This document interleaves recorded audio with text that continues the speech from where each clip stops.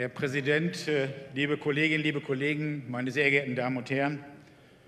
Ich habe gestern sehr konzentriert Herrn Lindner und Herrn Laschet im Rahmen der Haushaltsdebatte zugehört, als sie auf New Park zu sprechen kamen.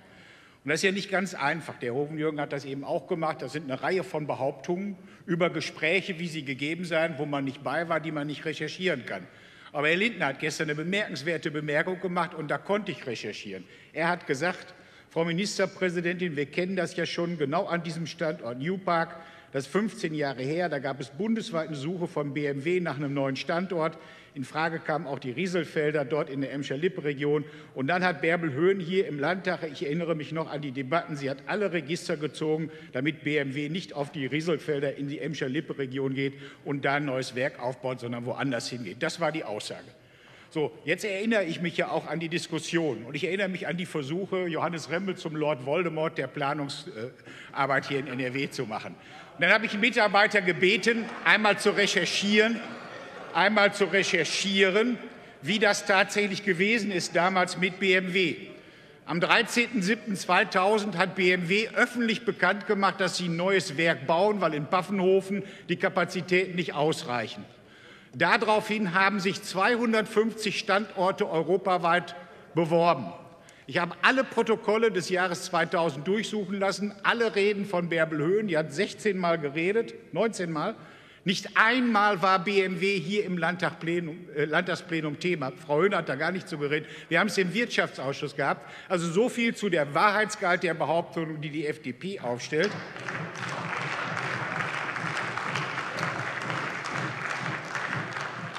Und die Landesregierung hat damals drei Standorte mit Priorität angemeldet. Staatssekretär Bickenfeld hat das auch damals vorgetragen im Wirtschaftsausschuss.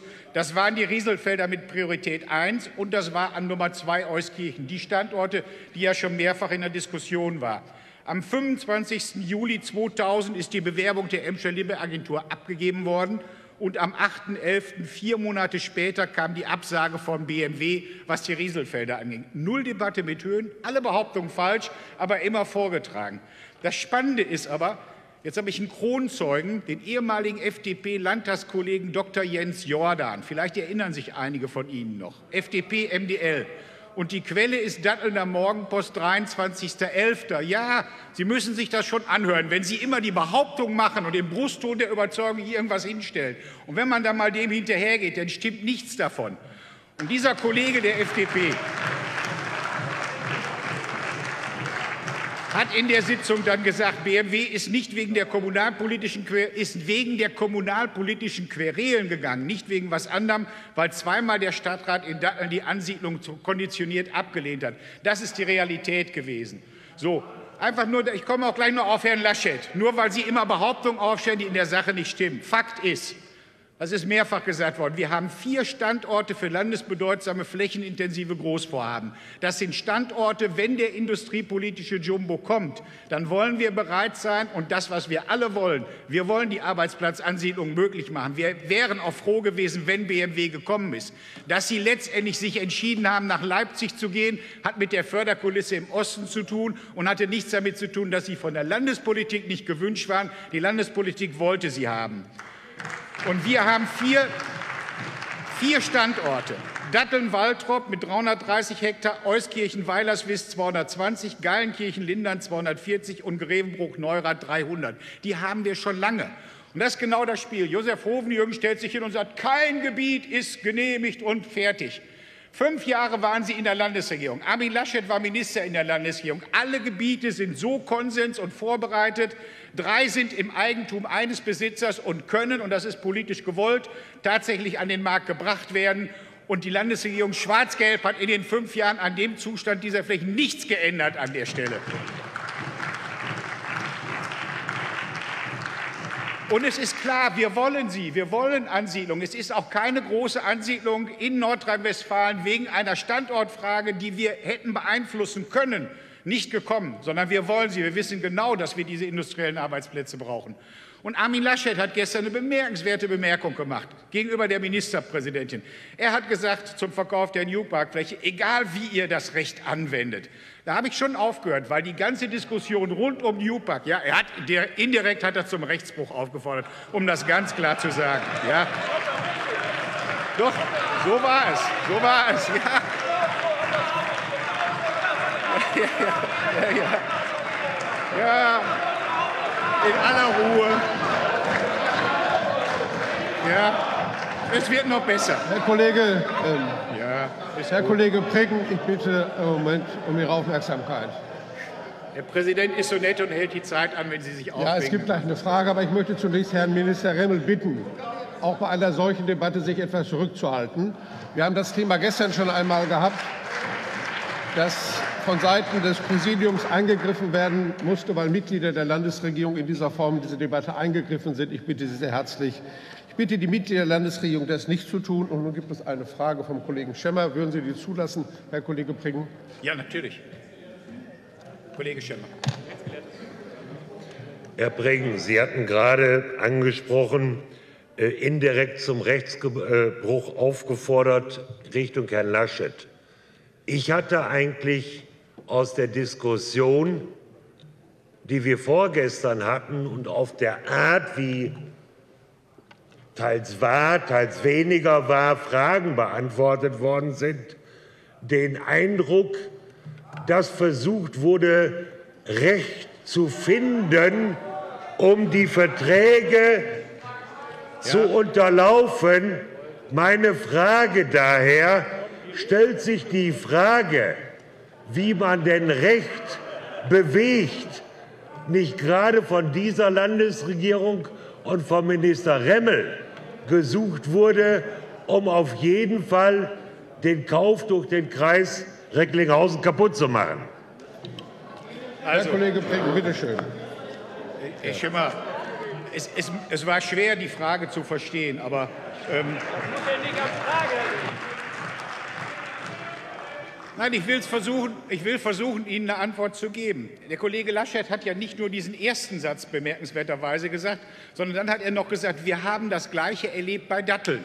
Damit wollte er den Eindruck erwecken, dass auch bei der Planung des Kraftwerks Datteln hier von der Landesregierungsseite aus der Prozess torpediert wurde. Da kann ich nur sagen, der Kollege Laschet war im Kabinett und ich erinnere mich noch sehr gut über die Diskussion über alle Kraftwerkstandorte. Es geht um das Kraftwerk Datteln, für alle, die es nicht kennen, in direkter Nachbarschaft von New-Park, was im New-Park hätte gebaut werden können, weil das ein ausgewiesener Atomkraftwerkstandort war, aber nicht an dem Standort, wo man es unbedingt wollte. Und da ist Laschet in der Landesregierung zugegangen. Er hat ja hier auch stellvertretend damals für Christa Toben dazu sogar geredet. Die sind zugegangen und haben einen Planungsprozess genauso gemacht. Wir wollen das dahin haben also lassen wir das laufen, egal wie das Recht aussieht. Und dann ist das Oberverwaltungsgericht Münster und nicht der Kollege Remmel zugegangen und hat denen, die geplant haben, ins Stammbuch geschrieben, dass es, ja, Kollege Hovenjürgen, Geduld, Sie waren auch dabei. Sie waren dabei und Sie kennen das. So. Dann hat das Oberverwaltungsgericht Münster ins Stammbuch reingeschrieben, dass es hier einen Abwägungsausfall gegeben hat. Und dann muss man erklären, es gibt bei Planungen immer die Notwendigkeit abzuwägen, wie hier zwischen den Interessen der Landwirte, den Interessen des Kreises und anderen. Und in dieser Abwägung müssen Sie dann eine Entscheidung treffen. Das hat die Regierung gemacht. Damals beim Kraftwerk Datteln man kann in der Abwägung Defizite haben, man kann Fehler haben. Das OVG hat gesagt, ein Abwägungsausfall. Das kannte ich überhaupt noch nicht, weil jede Verwaltung abwägt, das ist nicht gemacht worden. Und diese Aufforderung, genau so vorzugehen, macht die Landesregierung bei diesem Projekt nicht. Wir haben ja die Konsequenzen aus dem Murks, den Sie da gemacht haben, heute noch zu ertragen. Sie werden nicht müde, uns das vorzuwerfen, aber Sie haben die Verantwortung.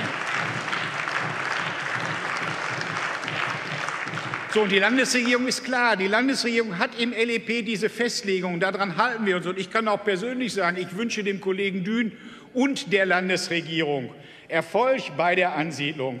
Wenn ich mir was wünschen dürfte, würde ich sagen, Kollege Dün, die neue Fertigung des elektrischen Passats mit 400 Kilometer Reichweite als neuer Standort für die Autoindustrie. Von mir aus wirklich gerne als CO2-freies Autowerk hier von Volkswagen in Datteln. Ja, Und ich wäre nicht nur derjenige, der Ihnen und Remmel den roten und grünen Teppich ausrollt. Ich würde auch den ersten Wagen bestellen aus der ersten Reihe, wenn wir es schaffen würden. Also insofern, ja, schaffen Sie es. Lassen Sie uns das hinkriegen. Aber, Kollege Verhoeven, Jürgen und andere, machen Sie sich doch nichts vor. Ich kenne doch die Melodie, wie sie jetzt angelegt wird. Das Planen an diesem Standort ist außerordentlich komplex. Wir wissen, die, die die Region so ein bisschen kennen, wissen um die hohen Emissionsvorbelastungen aus den drumherum liegenden Kohlekraftwerken und aus der Kupferhütte. Wir wissen genau, wie schwierig es war, dafür zu sorgen, dass Lünen, das Kraftwerk Lünen die Genehmigung kriegte, indem es ein Handel machte mit der STEAG auf ihr Kraftwerk in Herne zu verzichten. Dafür kriegten die Finnen die Betriebsmannschaft bei Lünen abgezogen und STEAG übernahm das. Nur so konnte man das zulässige Emissionslimit einhalten. Und für jede Ansiedlung, die dahin kommt, muss man wissen, in diesem schwierigen Gelände, wo immer wieder geklagt wird in dem Konflikt zwischen Emissionen und Beeinträchtigungen, wird das nicht einfach. Insofern meine ich das wirklich so. Wir können gucken und wir werden unterstützen dabei, da was hinzukriegen, was herausragend ist, aber es ist nicht einfach. Herr Kollege, und, Herr Kollege es liegt eine äh, Zwischenfrage des Kollegen Dr. Papke vor. Ja, bitteschön. Ja, vielen Dank, äh, Herr Kollege Bring, dass Sie die Frage zulassen. Nachdem ich Ihnen aufmerksam zugehört habe, würde ich gerne zum Kern des Problems zurückkehren und Ihnen die Frage stellen, ob Sie die mehrfach öffentlich getätigten Äußerungen von Herrn Minister Remmel teilen, dass das Projekt überflüssig ist. Herr Remmel hat ja in herzerfrischender Offenheit immer wieder deutlich gemacht, dass er persönlich das Projekt New Park für überflüssig hält. Mich würde interessieren, unabhängig von der äh, Darstellung, die Sie dort gerade getätigt haben, ob Sie diese Bewertung, dass das Projekt überflüssig ist, teilen. Also, Herr Dr. Papke, danke für die Frage. Aber als erstes traue ich Ihnen nicht mal mehr, genau wie dem Kollegen Lindner zu, dass eine Behauptung, dass er das gesagt habe, überhaupt stimmt. Das kann ich in der Kürze nicht recherchieren. Die Bemerkung von Lindner konnte ich gestern recherchieren. Insofern glaube ich Ihnen das überhaupt nicht. Ich habe, nein, ich habe, ich habe Ihnen sehr klar eben unsere Position und auch meine persönliche dazu gesagt. Und das ist die Vereinbarung in der Koalition. Wir wären froh für jeden guten Arbeitsplatz, den wir da hinkriegen. Ich will aber auch nicht verhehlen, um das ganz klar zu sagen, es gibt nicht nur diesen einen Standort. Wir sind in der Pflicht und wir haben so viele Flächen, um die wir uns kümmern. Wir haben uns zu kümmern um 170 Hektar bei Opel in Bochum. Wir haben uns zu kümmern, das macht Montan Grundstücksgesellschaft sehr gut, um 11.000 Hektar, die aus der Steinkohle Zug um Zug zur Verfügung stehen. Wir haben uns zu kümmern. Ja, das wollen Sie alles nicht hören, weil Sie nur der Regierung ans Zeug flicken wollen. Aber wir machen die Arbeit und wir kümmern uns darum. So, und wir haben uns zu kümmern um den Strukturwandelsprozess im rheinischen Braunkohlerevier, wo an den Standorten in Frimmersdorf, in Weißweiler, beim Goldenberg, wo nach Entscheidung des Unternehmens aber sukzessive Hektarflächen frei werden. Wir reden über mehr als 400 Hektar. Und auch da müssen wir dafür sorgen, dass jetzt was eingeleitet wird, damit wir keine Brüche hinkriegen. Und darum kümmern wir uns. Ihnen geht es nur darum, denen, die die Arbeit machen, ans Zeug zu flicken. Das ist in Ordnung, das ist politischer Wettbewerb. Aber die Regierung ist handlungsfähig, die Fraktionen tragen das und die Regierung kommt zu vernünftigen Ergebnissen. Und das Herr machen Kollege, wir es liegt eine Zwischenfrage des Kollegen Hegemann vor, würden Sie mir Ja, natürlich. Bitte schön. Herr Kollege, Sie wissen, Sie wissen, dass die Vorbelastung für Datteln 4 aus zwei Kraftwerken bestand, nämlich Datteln 3 und Knepper. Sie wissen auch, dass die beiden geschlossen sind mittlerweile, dass das also keine Argumentation ist. Aber jetzt äh, die Frage an Sie, sind Sie bereit, mit Ihrer Meinung und mal, das ist alles ehrlich gemeint und die gesamte grüne Fraktion steht hinter Ihnen, auch nach Recklinghausen zu fahren und den Grünen in Recklinghausen erklären, dass sie nicht weiterhin von einer Lebenslüge sprechen und nicht davon sprechen, mit allen Mitteln diesen U-Park zu verhindern. Ihre Mitgliedschaft ist doch so übersichtlich, Sie kennen sich doch alle. Das wäre doch, das wäre doch wirklich jetzt hilfreich, wenn Sie hingehen würden. Also erstens, Herr Hegemann, Ihre, bevor Sie gefragt haben, einleitende Bemerkungen über die abgeschalteten Uraltblöcke in Kemper und die ganz, ganz alten Blöcke, die in Datteln auf der anderen Kanalseite sind. Das ist ja nur ein Teil. Wenn Sie die Gerichtsurteile kennen und der BUND war erfolgreich mit der Klage in Lünen beim Europäischen Gerichtshof, dass die Naturschutzverbände gehört werden müssen. Und er war bisher zusammen mit dem Landwirt erfolgreich mit den Klagen bei Datteln. Und alle, die da planen, und wir haben ja mit vielen geredet, weil es macht keinen Sinn, dass eine Milliarde Kraftwerksbau in der Gegend rumsteht und nicht nach vorne oder hinten gegangen werden kann. Es macht auch keinen Sinn, dass die Trianel mit einem Gemeinschaftskraftwerk das Geld investiert und nicht laufen kann. Mal abgesehen von der Sinnhaftigkeit dieser Kraftwerke überhaupt, alle, die da gebaut haben, die Sie in die Investitionen getrieben haben, weinen heute bittere Tränen, dass sie ihnen auf den Leim gegangen sind. Ja, die Stadtwerke Dortmund und die Stadtwerke Münster machen zweistellige Millionenverluste pro Jahr. Und RWE will jetzt tatsächlich den Stadtwerken für einen Euro ihre Anteile am, dritten, am, am Block 2 in Hamm abkaufen. Das ist die reale Situation. Sie haben sie in Investitionen gehetzt, die unsinnig waren. So. Und alle Diskussionen, alle Diskussionen, die wir hierzu führen können, kann ich gerne an jedem Standort, an jedem, an jedem grünen Ortsverband führen. Das habe ich jetzt irgendwie 25 Jahre gemacht. Da habe ich auch keine Angst. Auch mit Ihnen zusammen, Herr Hegemann. Ganz herzlichen Dank.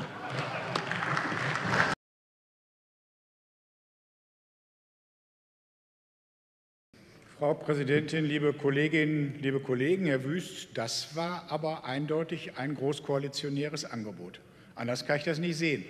Also wenn Sie die SPD auffordern, an der Stelle mit jemand anders die Regierung zu bilden, bleiben nur Sie. Was für mich faszinierend ist, der völlige Verzicht der CDU auf eine eigene profilierte inhaltliche Politik in allen Bereichen aus reiner Armut.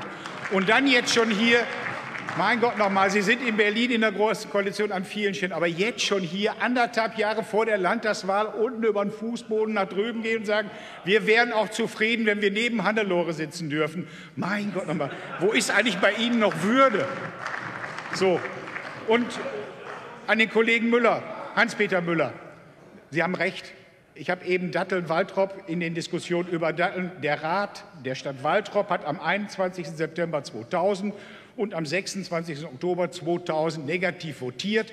Und das hat offensichtlich dazu geführt, dass in der Standortfrage war jedenfalls ein Grund, Euskirchen an die Priorität rutschte und New Park rausfiel. Ich will Ihnen aber auch eins sagen, es hilft nichts, es hilft überhaupt nichts. Und Sie als jemand, der im Rat in Datteln Verantwortung hatte, bei allen Genehmigungsschritten, die zum Kraftwerk führten, es hilft nichts, mit solchen Tiraden gegen BUND und anerkannte Naturschutzverbände und andere vorzugehen. Man kann sich das rechtlich bieten, wie man will. Das OVG hat es Ihnen ins Stammbuch geschrieben. Und wenn man eins lernt aus der ganzen Geschichte, dann, dass man gut beraten ist, sorgfältig abzuwägen und auch zu sehen, welche unterschiedlichen Interessen es gibt. Sonst wird das wieder ein Kampffeld. Und da kann man sich, ich verstehe das ja, man kann wünschen, man kann wollen. Aber eine gewisse Präzision im Handeln ist an der Stelle auch nötig und allen Beteiligten gut angeraten. Dankeschön. Vielen Dank.